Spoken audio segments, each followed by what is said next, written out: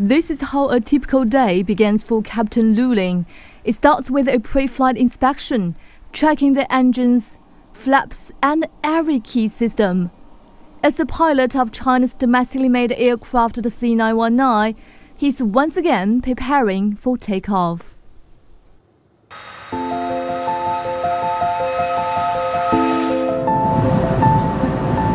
Project to develop China's domestically made aircraft, the C919, was approved in 2007, and a decade later, it completed its maiden flight at Shanghai Pudong International Airport.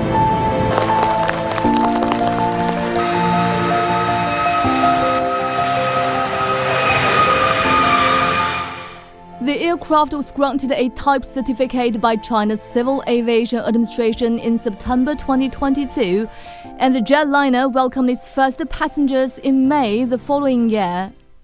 And one year later, in August 2024, Air China and China Southern Airlines received their first C919 aircraft, marking a pivotal moment as the aircraft enters a new phase of multi-operator deployment.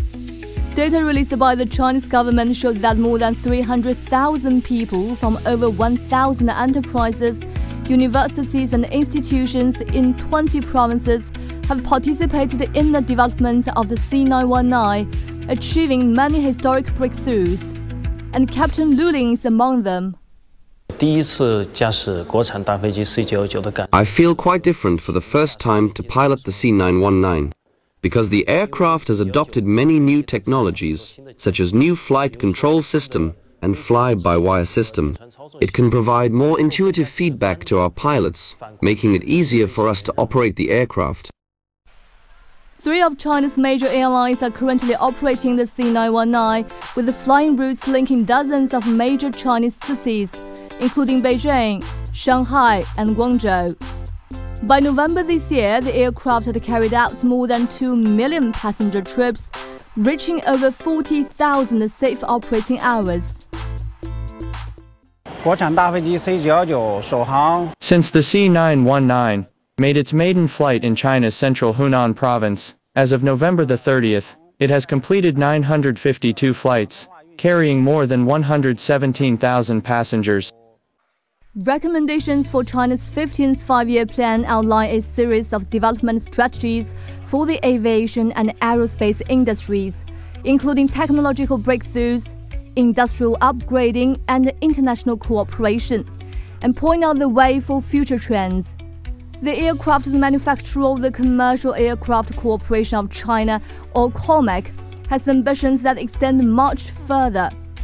Currently, the C919 has received 1,200 orders globally, and it once again wowed audiences at the 2025 Dubai Air Show following its international debut at the Singapore Air Show last year.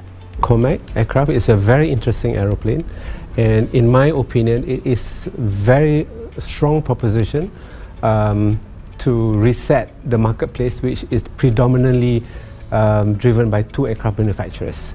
And with COMAC coming into play, it is very interesting indeed. I think it's the same with any new technology and any new entrant into a market.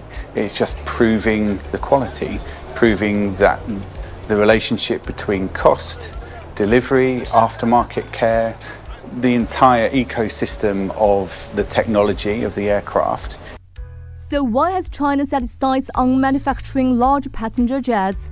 A report released by COMAC shows that by 2043, China's civil aviation fleet will reach over 10,000 aircraft, accounting for 20.6% of the global passenger aircraft fleet. And China expects to become the world's largest single air transport market. Many believe the development of the C919 has made a huge progress during China's 14th five-year plan from its first commercial flight to serving three Chinese major airlines and clocking millions of passenger trips, its arrival marks not only a milestone in China's civil aviation sector, but also a huge leap forward for China's manufacturing industry. Yu Yang, CGTN, Changsha, Hunan Province.